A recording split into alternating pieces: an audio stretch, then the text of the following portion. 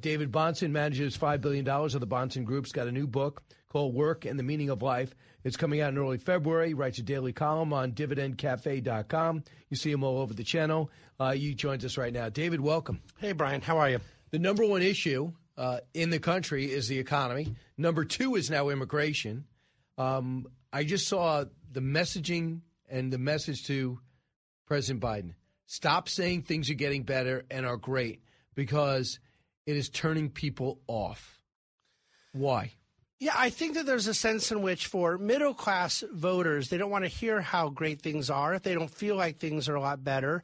And of course, at a high level, there's statistical things always that you can say are good, statistical things that are not good. And you can't talk that way. The way I would talk as a finance guy is really bad politically you know, I can make points that are true empirically, but it's not going to get through to voters. Voters are more emotional. They want to connect with the reality.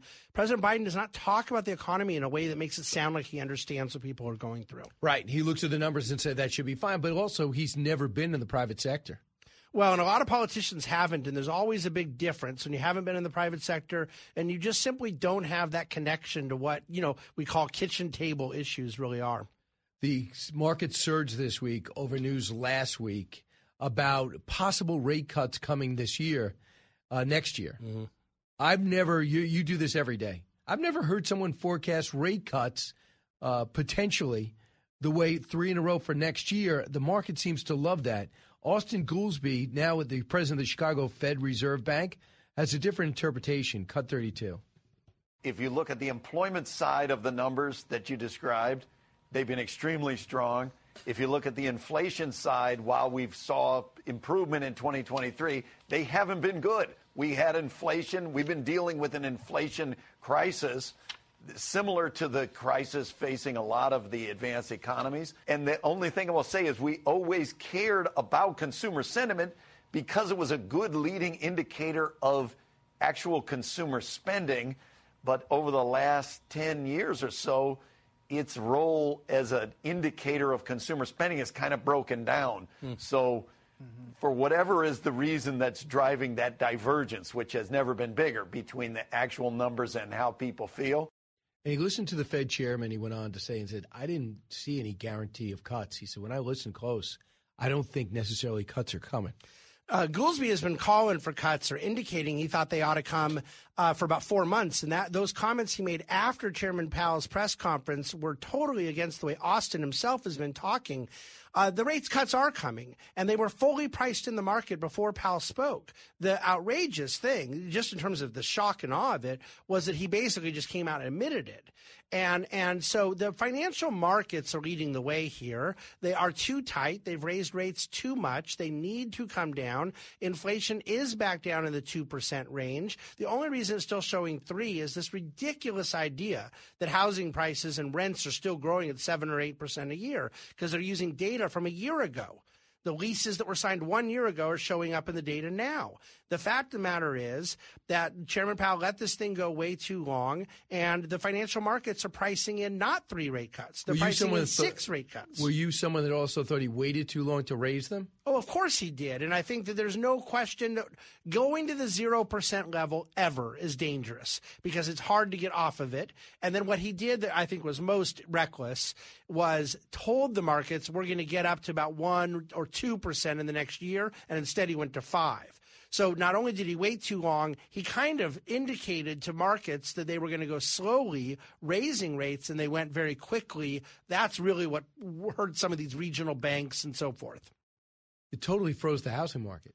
It did. It did. And not just the buyer side, the sell side. You can't sell a house now you have a 3% mortgage on and go buy a house that you can't afford. You, you can do a bigger home. You're ready to upgrade. You got a nice raise at work. Your family's ready for a bigger, nicer home. But now you're going to have to borrow at 7%. So sellers are frozen and buyers are frozen. So if the, the if the the rate comes down, the only reason the rate would come down of, of David, I don't get my feelings aren't hurt. If you want to correct me, but the only reason, the only way rates come down is if they're convinced that inflation has peaked. And um, are you convinced that inflation? Oh, I'm completely convinced inflation has peaked. Inflation was primarily caused because they shut our world down. And the world's been reopened and we are producing goods and services again. And so there's been a lot of talk that I've disagreed with from both the right and the left about the cause of the inflation. But the fact of the matter is, core goods inflation right now is 0%. And what does that mean? just the price of goods. Core goods, yeah, yeah, uh, ex- oh. excluding energy. And so you you have um, a lot of reasons to believe that the inflation issue has come way down, but I don't give the Fed credit for that. But I didn't give them the primary blame to begin with. I think there's all. you don't always, think they slow down the? You don't think they slow down the economy by raising rates to allow inflation to go down? No, no, no. But see, slowing down the economy is different than inflation. Growth is not inflationary. I like growth. We had really good growth in the 80s and the 90s. We didn't call it inflation. We called it growth. Economic growth is right. wealth creation. It's a good thing. People having jobs, people making money. That's a good thing. But wealth comes from producing more goods and services that enhance the quality of life of a society. That's wealth. And so just simply printing more money isn't wealth. You have to have more goods and services that absorb it. This is Milton Friedman 101 stuff, right? The idea that the Fed needs to slow down economic growth is to me the big misnomer. And really the problem that they have is we don't have enough economic growth. You need more economic growth to produce more goods and services. That's anti inflationary but we haven't had 3 to 4% real GDP growth, which we had for 70 years in our country post World War II. We haven't had it since the financial crisis. So, do you think it was political to to forecast three cuts? Uh, Austan Goolsbee says, I you know I don't interpret it that way, but having said that, everybody else did. Do you think it's politics? Um, yes and no. I do not believe that it's crass and sinister and conspiratorial, but I don't think they want to f- be perceived as having their finger on the scale next year. It would have been very political to not cut rates. I mean, that would basically be uh, damaging the economy unnecessarily. In 2016, they forecast four rate hikes. We were at zero, and they didn't raise once. In 72, Arthur Burns clearly helped Richard Nixon with monetary policy. In 94, Greenspan killed Clinton in those midterms, raising rates shockingly, spiked the bond market, and then Gingrich had the huge Republican House takeover in 94. The Fed doesn't want to be perceived as being political that way. So, do I think that they said they were going to cut these rates to help Biden? I don't, because here's the thing, Brian, it doesn't make sense. They've hurt Biden all year this year. So how does it help him to all of a sudden say it now but, when they could have helped him eight months ago? But David Bahnsen, they would they thought they were helping him by trying to tame inflation by raising rates. I don't believe that they believed anything different than I've said. That the inflation was hugely created out of the supply shutdowns of our country, and that inflation was coming the down anyway. Spending that came with it. Right? But see, they could have uh, raised rates like they did and stayed at four and a half, four point seven five. Inflation still would have come down. Why did they do the extra three quarters of a point after Silicon Valley Bank went down, after First Republic Bank went down, uh, doing more damage to the mortgage market, housing, commercial real estate. To me, they could have theoretically, if they were just being a totally sinister political ally, um, done far more to help. It's too late. That's this is the way elections work. Biden has no chance of running on a good economic narrative. You remember when George Bush Sr. lost to Bill Clinton in '92? That savings and loan crisis and that recession had been done since the end of '90 but the economy still hung on. Voters are not looking at like how things went the week before the election. Mm-hmm. The narrative of failed Bidenomics is baked in. So we know how this administration hates fossil fuels, and they ran on that. And they take great pride in that. How do you explain oil production being all time high? Well, because first of all, I don't think they hate, I don't think President Biden hates it as much as his administration hates it, and the people he has to appease hate it, the far left, AOC, all of those radicals. But I also do think that it isn't the right number. The right, we're at all time high of production in terms of an absolute number, but nowhere near an all time high of the ratio of production to consumption how much oil we need. The demand is so much higher that even though we're producing more, we're not producing as much as we used to relative to the need. So that's the real key number, and we could be.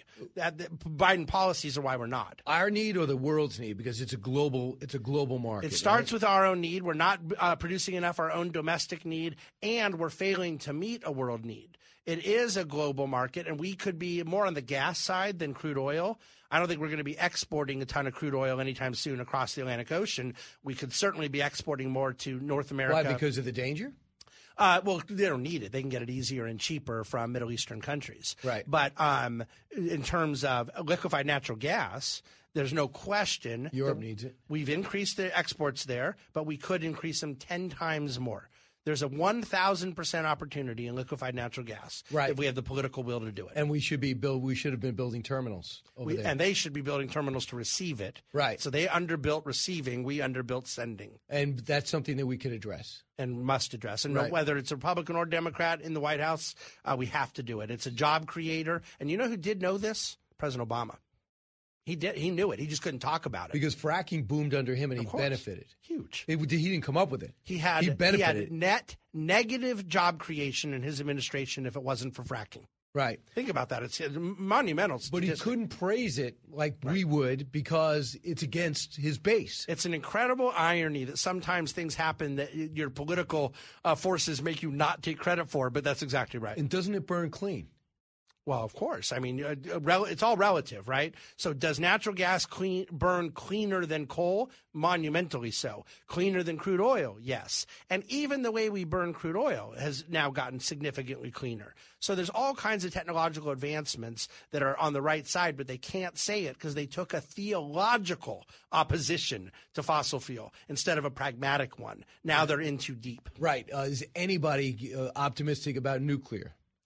Uh, about our ability to build in, in America? No, I'm very optimistic about it in Europe, though. They have more capacity to go quicker. Even though they went the other way when Japan got hit. Yeah. Now they're realizing we got to do something. and France and Germany have them, and particularly France, and they can reactivate much quicker. For us to go get permission to build nuclear, you're talking about a decade or longer. Because I see these stories about these nuclear uh, plants that are so small. Yeah. And let's say, you know, it doesn't seem as complex as the Three Mile Island version. you know, you know, the world's changed quite a bit, the technology, the capacity. Uh, so you're, we're just going into an all of the above energy world. You're going to have to take that approach. And uh, unfortunately, there's just going to be people on the far left that are going to kick and scream, but reality speaks louder. A couple more minutes uh, with David Bahnsen in just a moment, and uh, we'll continue to talk about the economy. Bob the hour, uh, Greg Lukianoff, who joined us, uh, the president found, uh, of the Foundation for the Individual Rights and Expression, author of the brand new book, The Canceling of the American Mind. Brian Kilmeade Show. Educating, entertaining, enlightening. You're with Brian Kilmeade.